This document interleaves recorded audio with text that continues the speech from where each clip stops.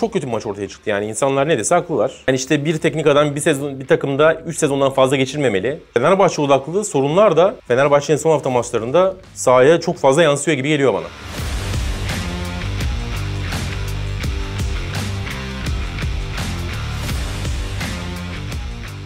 Uğur Ozan hoş geldin. Hoş bulduk Emre. Güzel bir üst. Hayırlı olsun. Senin hediyen. Benim hediyem değil. Sokrates'in hediyesi. Senin hediyen canım. Sokrates'in Ya hediyesi. tamam canım Sokrates'in hediyesi de senin işte 3-4 aydır tasarladığın, bana söylediğin bir şey ki bugün de biraz evden böyle aceleye çıkarken tişörtsüz çıktım. Evet, fantezi, imdadıma yetişti. fantezi yayınında denk gelenler olmuştur. Evet, hoodie ile e, kapşonlanma. Oradaki kapşonumun e, amacı farklıydı biliyorsun. Orada bir investigate olayı vardı. Eee, araştırma, soruşturma yaptım orada ki çok hakaniyetli bir kur- kura çekimine imza attık. Eee, bu Parma forması için de teşekkür ederim. Bu sezonun forması ama yani bu sezonun formasını almışken iç saha, hadi iç saha değil deplasman formasını falan almak sanki daha iyi olabilirdi. Sen gitmişsin 3. alternatif formaya gitmişsin. Ama senin hiçbir zaman tatmin olmayan o yapında bu vardır Doğru. zaten tabii ki. Yani iç saha formasına göre bu daha iyi zaten. Seni de zirveye çıkaran tutum bu zaten. Ama deplasman formasını tercih ederdim. Yani sarı, mavi daha baskın fakat bu da şık. Gerçekten çok şık. Peki buradan Biraz büyük olmuş olabilir bilmiyorum. Aslında fena da değil ya. ne olsun? Ee, Serie A ile alakalı önemli gelişmeyi de aslında. Serie A'dan önce e, bugün biraz keyifliyim. Evet. E, çünkü NBA kura çekimi için erken geldiğim için Eurostep'e de burada e, Bir ön, ön, ön kısmına evet Eurostep'in nasıl çekildiğini görme şansım oldu ki yani İbrahim Kutlay'ı burada görmek e, beni ziyadesiyle mutlu etti. Biliyorsun çok özel sevgim var kendisine. onu da sana. Yani yok. izleyiciler bi- öyle. Yok be abi. Niye oğlum? Hepsi öyle. Ama İbrahim Kutlay'ı burada görmek e, beni ziyadesiyle mutlu ediyor. Çünkü gerçekten benim çocukluk kahramanım, kahramanlarımdan biri. E, spordaki de en büyüklerden biridir. Yani tepe iki e, spor, kahraman, ka- spor kahramanımdan biri muhtemelen. E, özellikle Türkler içerisinde. E, tabii ki yani basketbolu benim 90'ların sonunda 2000'lerin başında çok sevdiğim, oynadığım e, dönemde e, Peter Namoski'nin de çok farklı bir yeri vardır benim için. Hatta yani basketbola bağlayan insanların başında belki Peter Namoski'dir ama e, yani yurt dışından gelen oyuncuları için dışında bırakırsak İbrahim Kutlay benim için tekti ki muhtemelen herkes için de tekti yani. Ben hiç maçını kaçırmazdım. Yani e, kendi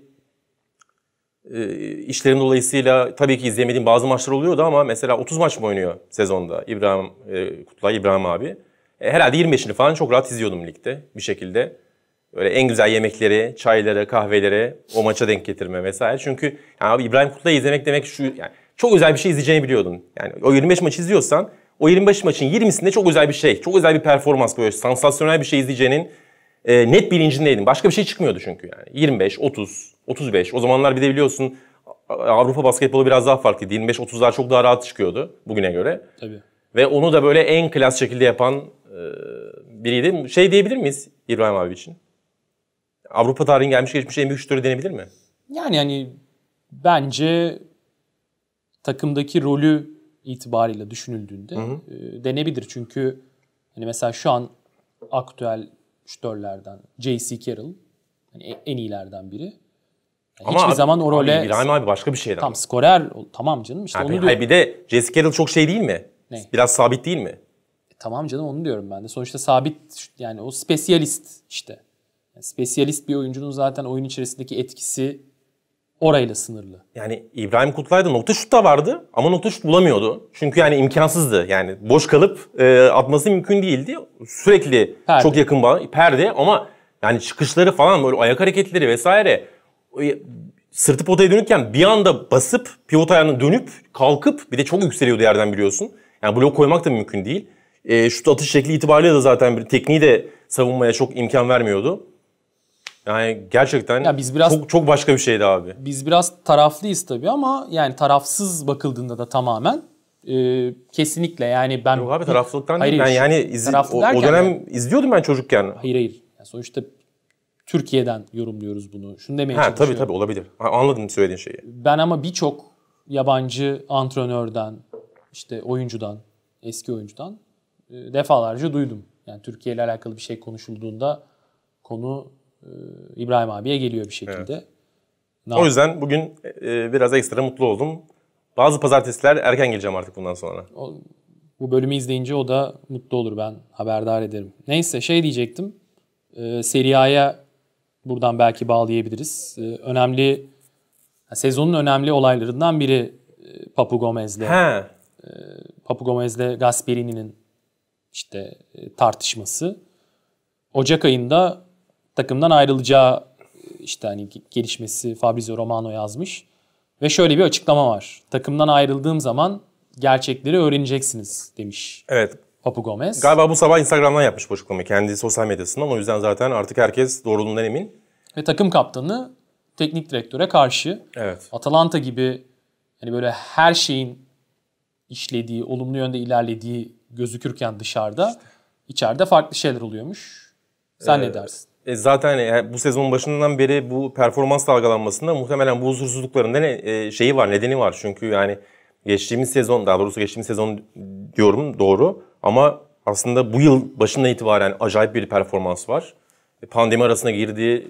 iki ay, iki buçuk ay futbol oynanmadı, döndüler. Bıraktıkları yerden devam ettiler. Şampiyonlar Ligi vesaire. Ligi çok iyi bitirdiler. Yani bir ara resmen birkaç maç kaybetmeseler, Juventus yenseler şampiyonluk adayı olacaklardı. Şampiyonluğun çok ucuna gelebilirlerdi. Orada alacakları ekstra birkaç galibiyetle. Öyle bir takım performansı bu sezonun başlangıcında dibe gittikten sonra, dinlenip döndükten sonra dibe gitmek ya da dibe doğru gitmek en azından çok daha kötü performansların ortaya çıkması bir gariplik gösteriyordu. E zaten bu haberler çıktı abi. Yani bu haberler doğrulanmamıştı. Evet. E, ama e, söyleniyordu. Evet. Yani Şampiyonlar Ligi'ndeki Midtjylland maçı devre arası Papu Gomez'i oyundan alıyor. İliçiç'i oyuna alıyor. Sonrası onun yerine. Devrede değişiklik. Gomez İliçiç değişikliği. Acayip bir tepki gösteriyor Papu. Ee, ve söylenen şey İliçiç'in de Gomez'e destek verdiği yönünde abi. Yani İliçiç onun yerine oyuna giren oyuncu. Ama galiba Gomez'e destek vermiş. Bu orada biraz çirkin şeyler yaşanmış. Bilmiyoruz. Yani böyle e, fiziksel tartışmaya, e, fizikselliğe falan dönmüş diyenler var. E, orada başlayan bir süreç ki ondan sonra abi e, Ligde bir maç vardı Udinese maçı. Udinese maçı çok net belli edecektin bir şeyler yaşanıp yaşanmadığını. Ama ertelendi. Şey hava koşullarından dolayı. O ertelenince direkt bir şekilde sonrasında Şampiyonlar Ligi'nde final maçına çıktılar işte Ajax'a karşı. Ve Ajax maçı öncesinde e, Gasperini şey yaptı olumlu bir şekilde yani böyle bir soru gelmiş basın toplantısında. O da evet e, ama işte bunlar takımlarda yaşanabilir vesaire. Odaklıyız, kazanmak istiyoruz falan e, gibi açıklamalar yapmış. Yani biraz zorladı aslında Gasperini ama Gomez'le beraber zirveye çıktı. Ee, yani diyecek bir şey yok şimdi bilmiyoruz. Belki hakikaten Gasperini çok hatalıdır. Böyle bir şey olma ihtimali de var. Ama abi işte bir takım yani bir teknik direktör e, bir takımda 3-4 sezon kalınca 4 yani süresi arttıkça yıpranmalar ortaya çıkıyor. Ee, hakikaten bak Gomez haklı olan taraf olabilir. Gasperini belki tamamen haksızdır. Çünkü yani nasıl oyuncular hata yapıyorsa futbolda teknik adamların da hata yapma ihtimali var tabii ki. Belki bir hata yaptı. Üzerine e, geri adım atamadı ve ondan sonra ilişki başka bir noktaya gitti. Bunu bilmeden söylüyorum sadece ama yani işte bir teknik adam bir sezon bir takımda 3 sezondan fazla geçirmemeli. İşte bu Vela Gutman'la beraber zirveye çıkmış bir şeydir biliyorsun eskilerden. Guardiola da benzer açıklamalar yapmıştır. E, buna dair de daha önce e, konuştuk zaten. Yıpranma başlıyor. Çok oyuncu değiştirdi Atalanta aslında. Takım da tamamen değişti ama onunla beraber devam eden oyuncular da var. İşte onlarla bir noktadan sonra galiba e, yat kalk yat kalk yat kalk 3-4 seneden sonra sıkıntı ortaya çıkıyor gibi. Göreceğiz. Yazık oldu ama. Peki Avrupa'ya geçmeden önce e, Fenerbahçe'ye istersen biraz değinelim. Yani çok fazla da bir tartışma var Erol, Erol Bulut özelinde, Ali Koç özelinde Fenerbahçe'nin gidişatıyla alakalı. Senin söyleyecekleri neler? Ya bir yani işte Ali Koç, yönetim onlara bir şey diyemem ben. En azından zaten ortada şu anda o e, kanatta bir şey de yok. E, ama sağ içi ya problemli Fenerbahçe'nin. E, bu problemler artık e, zirve noktaya ulaştı Yeni Malatya Spor maçıyla beraber. Çünkü bence dibe vurma maçı bu sezon. Bu sezon bir dip gördüyse Fenerbahçe şu anda o noktada. Daha aşağısı var mı bilmiyoruz. Buradan e, zıplar, zıplarlar mı onu da bilmiyoruz. Ama şu anda sezonun dip noktasındalar. Çünkü yani hem iç sahada 3-0'lık mağlubiyet hem yani sürklesi oldu Fenerbahçe. Ee, ama ya benim anlayamadığım şeyler var. Yani zaten burada derbi merkezde Fenerbahçe maçlarında konuşmuşluğumuz vardı. e, Akan oyundaki problem en başından beri belliydi zaten Fenerbahçe'de. Yani Akan oyunda üretemeyen bir Fenerbahçe vardı. Sezon başındaki galibiyetlerin e, büyük bölümünde destek duran toptan alınmıştı. Ama Akan oyunda üretemiyordu takım. Ya bu maçla alakalı ben e, yani gerçekten anlamadım şeyi. Yani sahaya çıkan bir 11 var. Fenerbahçe'de Sisse'nin arkasında 3 tane 10 numara karakterli 10 numara orijinal oyuncu tercih ediyor. Ee, Erol Bulut. İşte Pelkas, Mert Hakan Yandaş, e, Ferdi Kadıoğlu. Rakibe bakıyorsun 4 santrfor abi rakip. Kubilay, Benjamin Tete maçın yıldızı. Bir kenarda Umut Bulut, bir kenarda şey Adem Büyük. Yani 4'de santrfor karakter. Şimdi bak 4 tane santrforla topu alma şansın yok abi. Yani istesen de topu alamazsın. Bak top tutarsın, uzun oynarsın, Benjamin Tete indirir. Uzun oynarsın, Kubilay kanatsız kuş tutar, döner, takımın yerleşmesini sağlar. Ama o top sende kalmaz. Yani 4 santrforlu bir takımın 3 ortası 3 10 numaralı bir takıma karşı e, topu alma şansı normal şartlarda yok. Bunun örneklerini geçtiğimiz sezonlarda da gördük. 2017-2018'de mesela bak ben şöyle bir maç hatırlıyorum. E, Mourinho United'ı City'ye karşı önde Lukaku, solda Martial, sağda Rashford, 10 numara şey e, Lingard. Çok agresif dendi. Top, tamamen topu bırakma yöntemiydi aslında. Tamamen kontra. %25 falan topla sahibi oldu o maçta. Sürklase de oldu bak. City'ye karşı sonucu da alamamışlardı o maçta. Ee, böyle 4 tane santraforla topu almak mümkün değil. Bak başka kurgularda e, iyi sonuçlar alabilirsin. Ama yani şunu anlamadım ben. Fenerbahçe abi golü yene kadar top Malatya Spor'da %55, %60 topa hakim olan taraf Malatya Spor görüyorsun. Olmaması lazım. Yani 3 tane 10 numarayla alması lazım Fenerbahçe'nin topu. Olmuyor. 1-0, 2-0, 2-0'dan sonra Fenerbahçe topu almaya karar veriyor. Şimdi eğer topu almayacaksan 3-10 numaralı düzene ne gerek var? Kontra atamazsın ki abi. Yani topu bıraktığın rakip geliyor sana. Kimle kontra? Sisse atletizmi bitmiş bir oyuncu artık. Yani başka bir oyuncu Sisse. E, Mert Hakan Yandaş. Pelkas, e, Ferdi Kadıoğlu. Şimdi bu oyuncularla mı mesafe kat edeceksin? Yok kontra oyunda kurulayamazsın bu oyuncularla. Topu alman lazım. Topu almak isteyip de alamıyorsan bu zaten başka bir dert. Yani o takıma karşı. İlk 15 dakikada Fenerbahçe topu alamadı. Yani almak istedi mi bilmiyorum ama alamadı yani. Bu bana garip geliyor. Bu aynısını Gençler Birliği maçında da yaşamıştık. Yine ilk kez o maçta Perotti vardı yanlış hatırlamıyorsam. Perotti, Perkas, Mert Hakan Yandaş'tı. E, Santrifor. O maçın e, öne geçene kadar Fenerbahçe topu hakimdi. Öne geçtikten sonra bilinçli bıraktı Erol Bulut. Yine gördük. Derine çekildi. Yine bana mantıklı gelmemişti. Bak o maç 5-1'e gitti. Bazen oluyor e, anlamlandırılmayan şeyler, bazen yapılan hatalar e, iyi sonuç verir. Bazen çok doğru yaparsın maçı kaybedersin. Ama bana garip gelmişti. 10, 3 tane 10 numarayla yine topu bırakması. Çünkü topu bırakıyorsun, uzaklaşıyorsun rakip kaleden. O oyuncularla nasıl kontra atacaksın? Çok fazla şansın yok. Yani Fener, Erol Bulut'un Fenerbahçe'sinde benim gördüğüm sıkıntı yani böyle takımın kurgularıyla oynamak istediği oyuna uyum çok fazla olmuyor. Bazı maçlarda ile bu zirveye çıkıyor. Bence Yeni Malatya Spor'da o maçın e, o zirveye çıkan maçlardan biri oldu ve tepesine çıktı belki de işte sezon itibarıyla. Ha bu tabii ki şey değil yani Yeni Malatya Spor'da kendi yapısına göre mükemmel bir oyun oynadı. Benjamin Tete inanılmaz oynadı mesela. Umut Bulut harikaydı. Adem Büyük benzer şekilde. Ee, onların performansını küçümseme anlamında değil bu. Ama yani e, Fenerbahçe odaklı sorunlar da Fenerbahçe'nin son hafta maçlarında sahaya çok fazla yansıyor gibi geliyor bana. E, King'le devam edelim.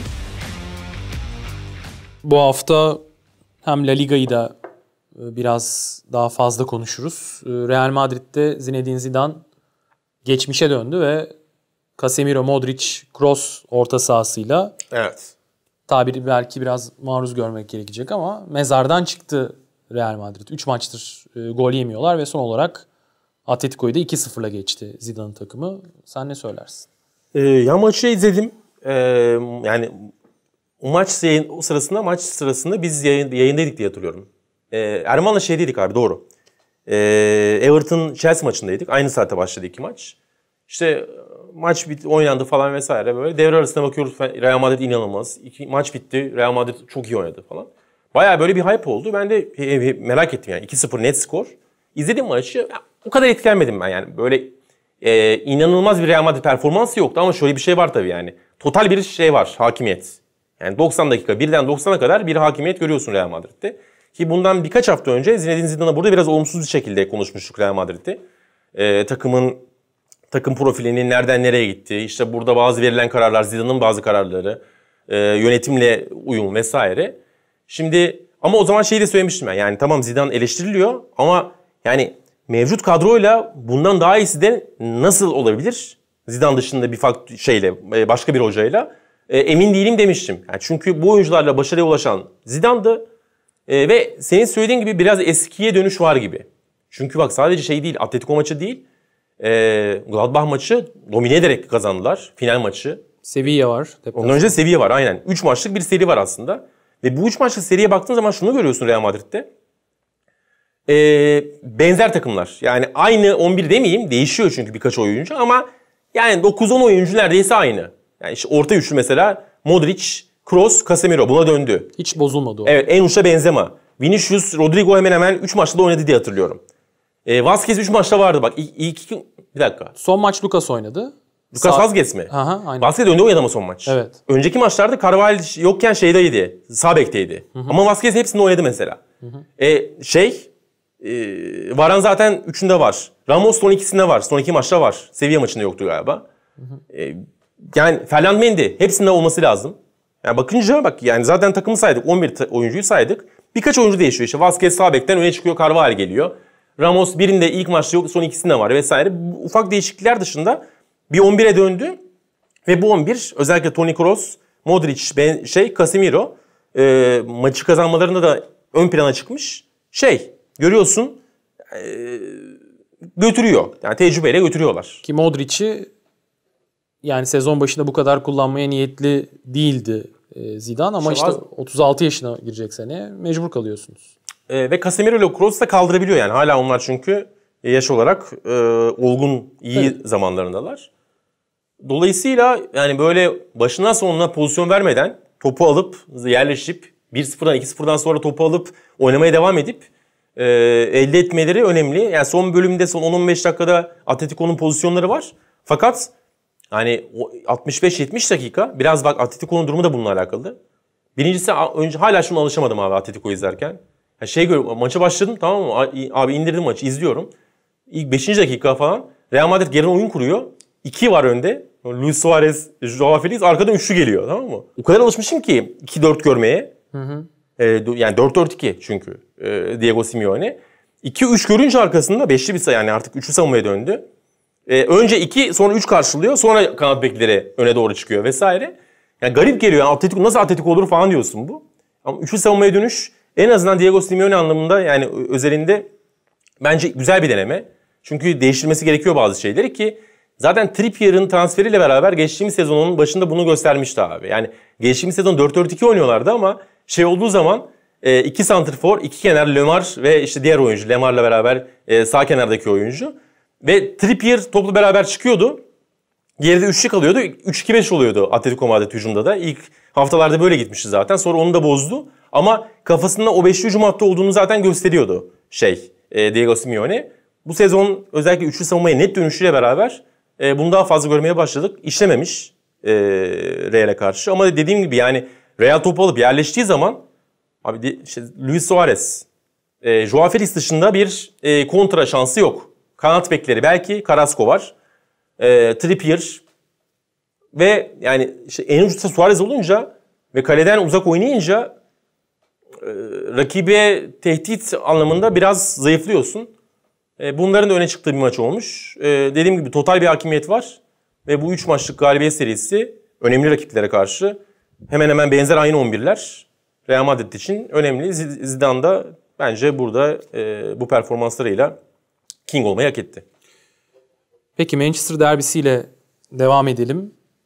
Özellikle yani ilk yarı çok keyifli değildi maçta. Ben de yani ikinci yarıyı izleyemedim ama e, yayından ötürü.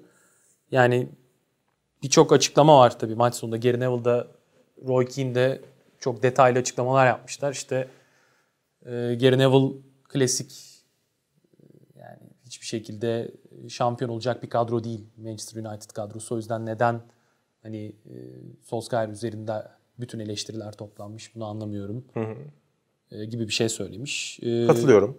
Ama genelde şey e, karşılanıyor bu işte. Takım arkadaşı, arkadaşlık Evet, vesaire. Ben de benzer düşünceliyim az çok. E, bir de Pep Guardiola'yı otobüsü çekmekle suçlamış e, maç sonunda. Yani ama hani bunları tabii dile get değil tabii.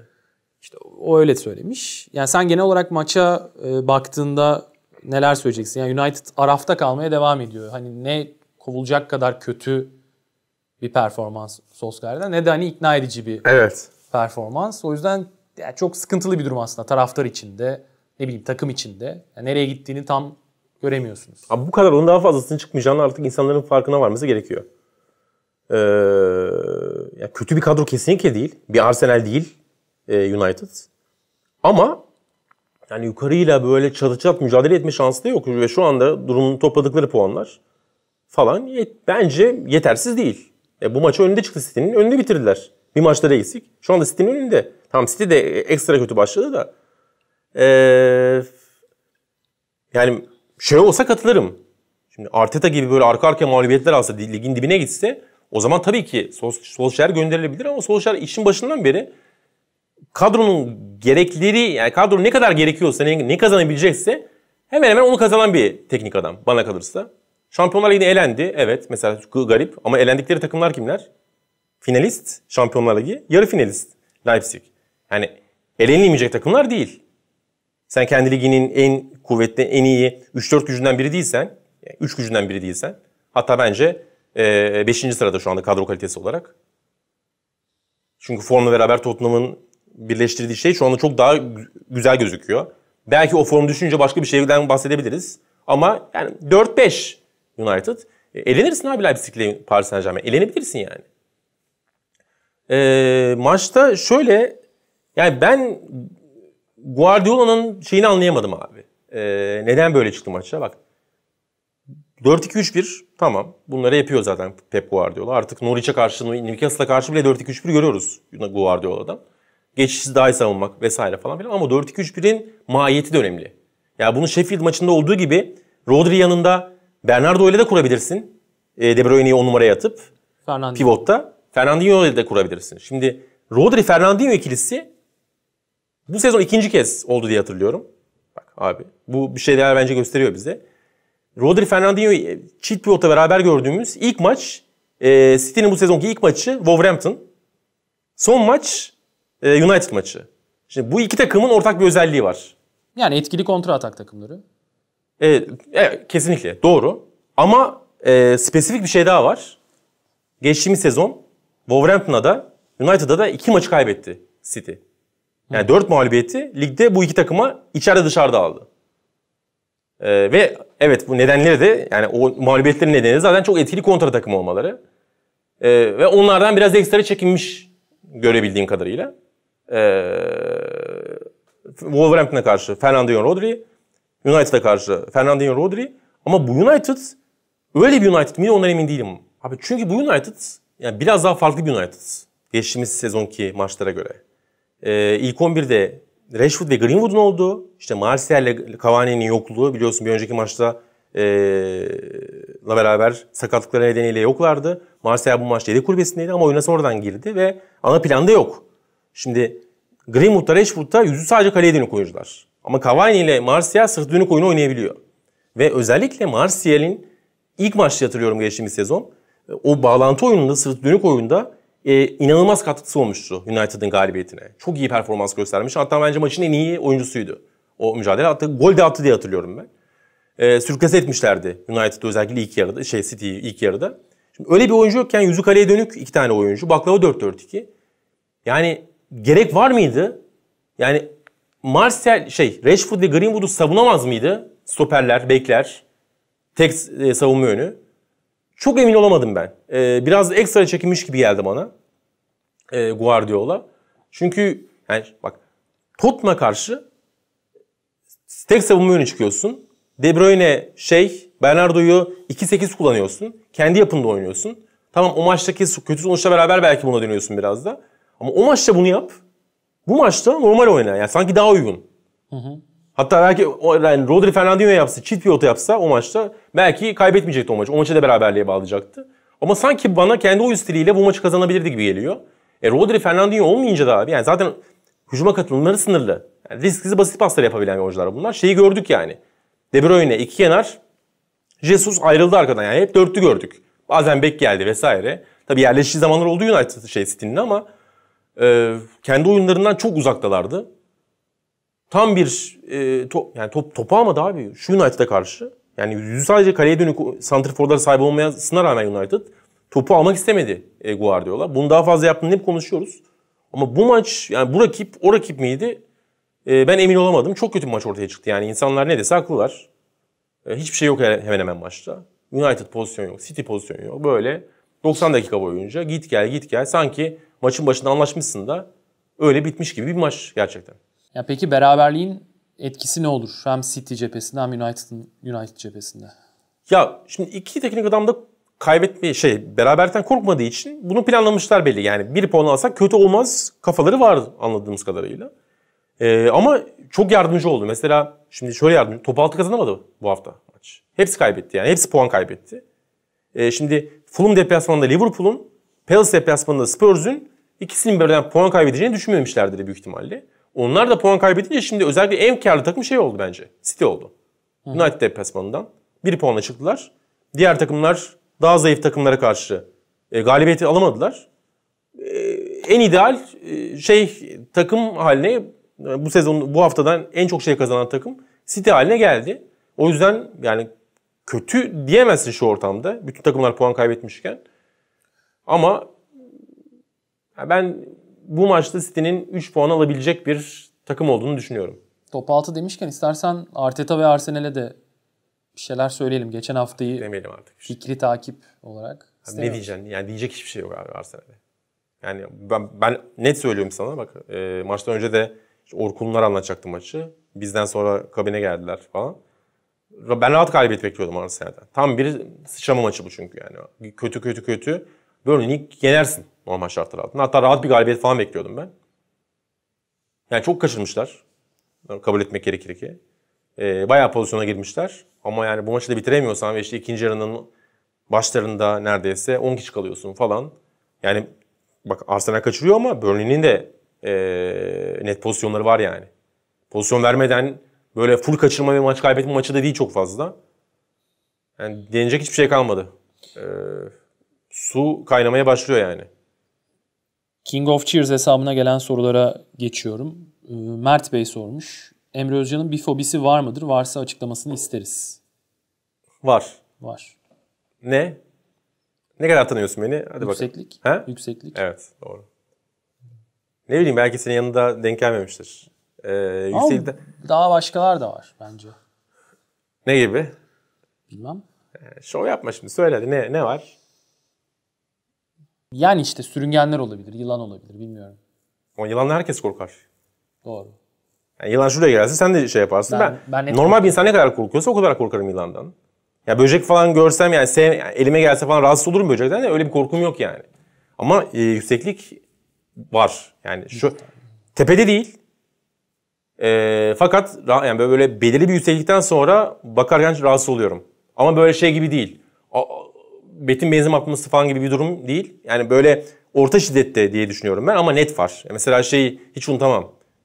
E, Atakule'ye, Atakule miydi? Ankara'da Atakule'ye çıkarken şey, altı cam biliyorsun. Orada bitmiştim ben yani. yani. Yerden yükseliyorum falan böyle e, 50 metre, 100 metre ne kadar oldu artık falan. Aşağıyı görüyorsun net bir şekilde. Böyle çökecek gibi falan geliyor öyle zamanlarda. Biraz sıkıntı yaşıyorum yani. Marcelo Bielsa, Ke- Kerem Aydın'ın sorusu bu arada. Marcelo Bielsa yılın teknik direktörleri ödülüne aday gösterildi. Neden? E, Eğer Bielsa aday gösterilebiliyorsa Gasperi'ne neden aday gösterilmiyor? Çok daha fazla hak etmedi mi? Mutlaka bir BS'siz vurucu geliyor. Haklı ya. Çok haklı. Skandal yani. Skandal demeyeyim ama yani saçma saçma bence de. Ee, yani mesela BS aday gösterilecekse geçtiğimiz sezon Chris Wilder yani adayın adayıydı ee, falan. Bu tamamen reputasyon oluyor abi. PR bence. Reputasyondan ziyade. Şey mi PR diyor? FIFA'nın PR mı diyorsun? Yani Bielsa sonuçta şey bir figür. E, tamam işte onu diyorum. Üzerinden- Yani. Re- Reputasyonu yüksek olduğu için şöhretli. Yani, yani işte Konuşulacağını biliyorlar onu aday Tabii, tabii, gösterince. tabii, O- olay o gibi aynen, yani. Aynen aynen. E, Burada Bielsa'nın suçu yok ama yani ha- evet mesela bak ben Wilder falan dedim. E, geçtiğimiz sezon için konuşuyorum bu arada. Gasperini net daha fazla hak ediyor abi. Elbette tabii. Mert Ali Ersoy'un sorusu. Emre Özcan'a deseler ki Erman Yaşar evleniyor ve evi terk edecek. Sana da iki tane futbolcu ev arkadaşı vereceğiz. hangi ikiliyi seçerdi? Yani sorunun ilk bölümüne pek gerek yokmuş aslında. E, aktif mi olması lazım? Ya bence şey yap. Bir tane aktif bir tane şey söyle eskiden söyle. Henry, net eski. Ee, cool cool takılırdı, keyifli olurdu. Bir de bayağı esprili komik karakter olduğu söyleniyor. Yani yeni de bilmiyorum ki abi ne diyeyim. Ee, Torreira. he? Torreira. Ee, yok canım ne Torreira'sı. Ronaldo abi Cristiano. Neden? Neden dersen? Neden? Eve sürekli bir şeylerin gelme ihtimali var. yani yani bir tane gelmezdi muhtemelen. Ee, ekstralar falan gelirdi. İyi olurdu. Skandal bir cevap oldu. Özür diliyorum. Ee, başka bir şey gelmedi aklıma. Kusura bakmasın izleyicilerimiz. Sinemanyak kullanıcı Ne manya? adlı. Sinemanyak. Yok sinema manyakmış. Malumunuz NBA'de şut menzili çok genişledi. Artık ortalama bir oyuncunun üçlük tehdidi olması çok doğal. Menzilini yarı sahaya kadar çekenler bile var. E, futbolda ise yeni savunma stratejileriyle beraber özellikle kapanan takımlara karşı bu uzun menzilli ş- menzilli şut tehditleri neden faktör olmuyor? Kardeşim yazı yazsaydın. Evet. Hayır bir de şey yok. Yani soruda nokta virgül hiçbir şey yok. O yüzden Ee, hatta boşluk da yok yani. E, ya doğru bir sorgulama. Yani buna dair bir çalışma var mı bilmiyorum. Yani son yıllarda liglerde uzaktan şutlar yani 20 metreden sonra, 25 metreden sonra, 30 metreden sonraki şutlarda da bir artış var mı bilmiyorum ama varsa şaşırmam en azından. E, bu şeyle alakalı çünkü abi e, şut tehdidi e, şöyle takımlara karşı özellikle ön plana çıkar. Derinde savunmalar yani derinleştikçe savunmalar daha fazla şut imkanı elde edersin. Ve yani oyun 4-5 yıldır gerçekten set bir takım %70, %75, bir takım %20, %25, %30 set savunma. Bir takım set hücumu, set savunma, set hücumu, set savunma. Böyle geçiyor artık. Yani böyle e, şeyler e, gitgelli tempolu maçlar elbette hala var. Farklı takım, öyle takımlar karşı karşıya gelince o oluyor. Ama genellikle bir top takımla oyuna, topa hakim oldu. Diğerinin karşıladığı maçlar görüyoruz. Şimdi bu şut imkanını artıran bir şey ve özellikle mesela bak şey hep konuş ben burada arada söylüyorum işte savunmayı altıladı. Ve önden oyuncular geldi. S- Dörtlü savunma açıldı. Merkezden iki tane oyuncu geldi. E, savunmayı altıladılar falan diyorum. Bak altılı savunmanın en büyük dezavantajı savunmanın önünde, o altılının önündeki hatta e, şut imkanı vermek. Derinleşiyorsun. Altı oyuncu koyuyorsun o gerideki şeye. E, öndeki boşluklar artıyor. Hele öne iki tane de şey eklersen 6-2-2 diye karşılarsan kontra tehdidi yüzünden kontraya çıkmak için öne iki oyuncu bırakırsan 6 tamam. Öndeki 2 e, oralarda şut imkanı ortaya çıkabiliyor. Altılı savunmanın en büyük düşmanı uzaktan şut. E, bunu da görüyoruz zaten o yapılara karşı. Bunları daha fazla görmeye başladığımız için muhtemelen şutların sayısında da bir artış vardır. Yoksa da bence bundan sonra artacaktır. Peki ağzına sağlık. Sorular bu kadar. Senin de ağzına sağlık. Yine çok e, tempolu, muazzam bir moderasyon. Gerçekten üst üste iki hafta e, seni burada görmek büyük keyif bir kez daha belirtelim. Çok samimi oldu. Gerçekten iyi olmadı ya. Neyse artık yapacak bir şey yok. Ben samimiydim ama öyle gözükmemiş olabilir. Kesinlikle öyle. Ama Ee, evet değerli izleyenler bu haftalık Tardini Büfe'nin sonuna geldik. Önümüzdeki salı öğle saatlerinde tekrar görüşmek dileğiyle. Şimdilik hoşçakalın.